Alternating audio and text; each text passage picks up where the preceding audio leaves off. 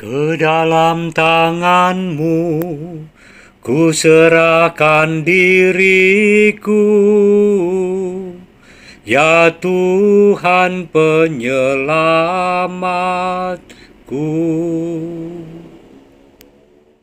Halo saudari-saudara yang dikasih oleh Tuhan Terus kita rayakan kehidupan. Anda lihat saya sangat gembira hari ini Karena berjumpa dengan rekan-rekan seimamat. Nih Romo Yoris Nah, Yonis. Yonis, Romo Yonis eh, pernah asistensi di Wonogiri. Terus yang sana itu provinsialnya ini Romo Felix, ya kan? Pernah eh, dua kali masuk di YouTube. Terus ini Romo Barnabas. Barnabas ya, baru di Dari Jogja, Manggarai. dari Manggarai ya. Kita kenalan dengan mereka. Saya sendiri sedang dalam perjalanan dari eh, Wonogiri dari Pasturan mau misa di eh, Bubaan namanya di pegunungan dingin. Asik sekali nanti saya video di sana. Halo, halo Romo Barnabas. Halo. Eh, kita ketemu ya Romo ya. Aku tanya sedikit ya supaya umat kenal ya Romo ya. Yo. Romo Barnabas. Romo asli dari mana Romo?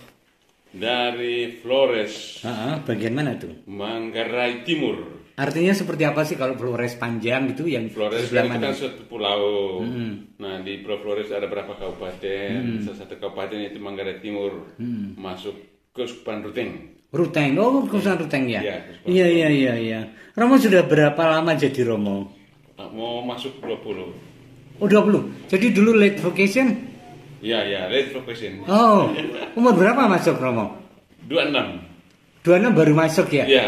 Oke, iya, iya, iya, iya, iya. Heeh. Soalnya aku juga nelat-nelat tapi ya tetap sudah 29. Oh, gitu ya? Oh, Oh, iya, iya. iya, iya. Saya dulu habiskan umur 30 tahun. Romo umur berapa dihabiskan? 37. 37 oh keren Iya, loh. iya. Nah saudara-saudara ada inspirasi nih. Jadi kalau anda atau anak anda, jadi ini apa follower saya itu eh, rata-rata tua Romo. Jadi saya menyapa anak-anak anda. Kalau anak-anak anda itu eh, pengen jadi Romo, Ya. jangan hitung umur. Kapan pun kalau merasa dipanggil atau berkehendak untuk menjadi imam, ayo Seru jadi Romo ya Romo. Iya, Kenapa iya. Romo uh, sudah umur 26 memutuskan jadi Romo? Pingin supaya lebih banyak apa mengenal banyak orang. Oh, Iya iya. ah, Iya. kapan mulai muncul uh, keinginan itu Romo? Ah, sejak saya sekolah di sekolah guru SPG Negeri Ende. Oke, ah. Hmm. Apa yang pencetusnya apa Romo? Nah, waktu itu kan saya melihat kehidupan para imam. Hmm. Ya, saya begitu para imam itu mereka senang sekali bergaul dengan siapa saja. Hmm, ah, Welcome sekali. ah, ah, So, terus? Saya, saya ingin tertarik jadi imam. Oh, Gitu. Ah. terus kenapa Romo memilih kongregasi OCD? Sana ada beberapa uh, kongregasi dan diocese pasti ya. Iya. Hmm. Nah, itu kan eh, waktu saya lihat itu eh, semangat Hmm. jadi itu kan biar kontemplatif, semua. ada doanya, ada pelayanan. Nah, saya Hmm. tertarik ke situ. Ini menarik, saudari-saudara, dari OCD ini. Jadi biara ini ada aspek kontemplatifnya, artinya Iya. keheningan doa. Iya. Bukan ada, tapi bahkan sejarahnya ya, Rom Felix ya. Iya, iya, iya. Sejarahnya adalah Iya. kontemplatif ya. Iya, Nah, tetapi kemudian atau kemudian mungkin salah saya, tapi ada aspek uh, aktifnya ya. Iya, pelayanan kebutuhan gereja kan. Oh, Pelayanan ah, kebutuhan pelayan, melayani kebutuhan gereja Iya. dan gereja banyak membutuhkan romo-romo yang aktif. Ak- Aktif itu artinya keluar dari iya. penjara. Eh, bawah.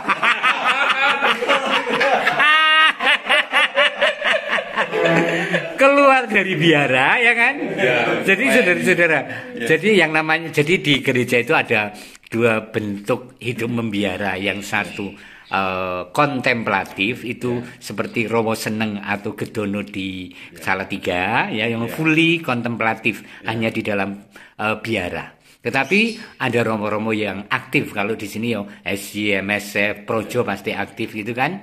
Nah, tetapi OCD ini double nih dua-duanya diambil.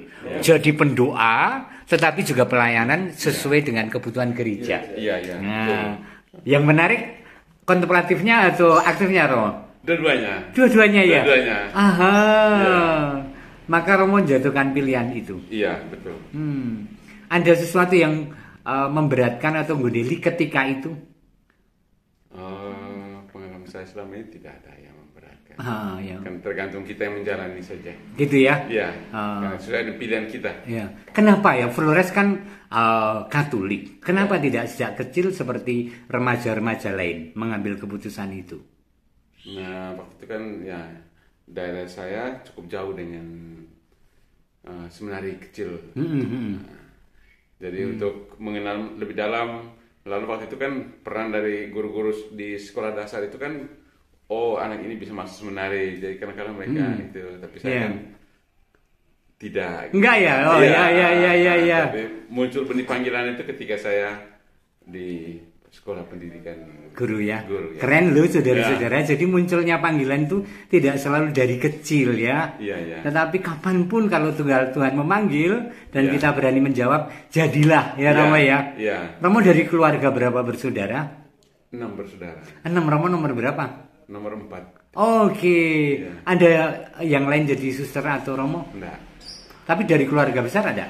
Dari keluarga besar ada, Hmm. mana keluarga besar kami itu ada ini yang suster tiga, Hmm. lalu yang pastor itu empat. Wow, iya iya iya iya iya. Iya. Ya memang dari keluarga yang banyak dipanggil menjadi imam dan suster ya Romo ya. Iya. Nah, terus Romo ini eh, terakhir berkarya di mana Romo? Di paroki Santo Yosef Bajawa. Oh di Bajawa daerah dingin ya? Ya betul. Oke, terus sekarang jadi Ya bapak rumah di.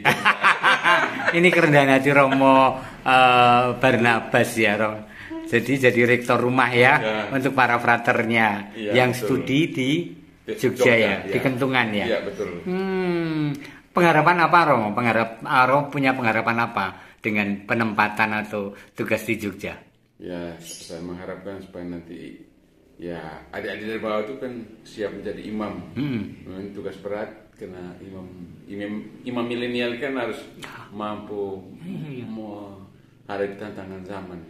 Lalu bagaimana berpastoral di zaman milenial itu kan butuh terobosan baru. Iya betul Romo, Nah, betul. kan pendampingan dari kita juga selain inovasi, tentu mereka juga butuh pendampingan dari kita. Hmm, ya terima kasih Romo perkenalannya. Romo punya pesan apa untuk orang-orang muda di seluruh Indonesia?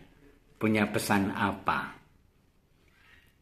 Pesan saya untuk anak-anak muda ya pertama itu ya mendengarkan sabda Tuhan. Hmm, Lalu yang kedua itu mendengarkan juga nasihat orang tua. hmm, Karena itu kan Allah yang kelihatan di bumi. hmm. Nah dari situ pasti akan mengalir berkat untuk kita.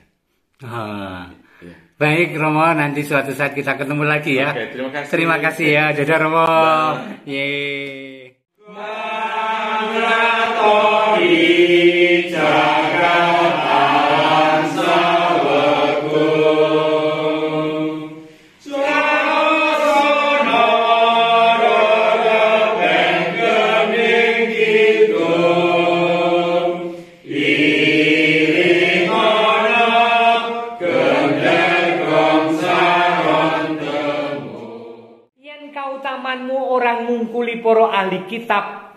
utawa para parisi, kowe ora bakal mlebu ing kratoning swarga.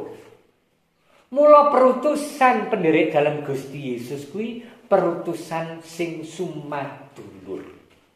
Sing jenenge bangun sumadulur kuwi ora metani eleke wong liya. Kamangka kecenderungan aku panjenengan kabeh ya metani. Kuwi paling paling nyenengke ngrasani kuwi. Gitu, aku ora mungkin kok seneng ya. Bahkan mancing-mancing ya aku ki ora sedang ora lagi ngritik panjenengan aku ya ya ngono lho. Nek kecenderungan ngrasani wong kok ana rasa seneng ta.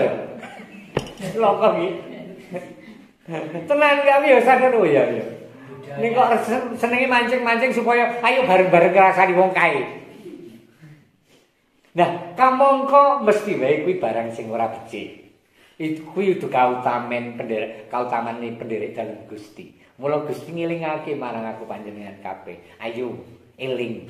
Aja gampang ngadili, aja gampang menghakimi ning deloken sisi-sisi sing becik.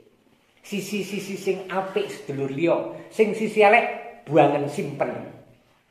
mbok menawa kanthi mengkono lan dadi uh, kebiasaanku jadi habit kebiasaanku terus urip kuwi dadi endah mergo rumangsane kabeh ki endah. Wong kabeh becik. Aku arep pengen uga tumindak becik. Nyetrum siji karo liyane. Rikala aku aweh paseksen lan ngupaya uripku ki becik marang sedulur liya. Aduh udara yang sangat sejuk di Kapel Mbubaan yang jauh dari manapun lereng Gunung Lawu uh, par, uh, uh, apa lingkungan yang ya terpencil ya. Dan ini umat barusan merayakan Ekaristi. Senang sekali sore-sore mongso ketiga dingin dan kemudian ting uh, berada di tempat ini. Sangat indah menyenangkan. Pastoral yang begini-begini menyenangkan. Dulu ini jalannya ini uh, jelek sekali sehingga selalu berjuang kalau mau ke sini